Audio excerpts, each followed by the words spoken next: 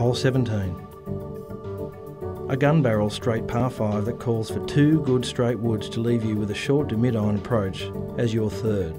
Your tee shot is over the dam, long and strong with a right of centre line is your best option.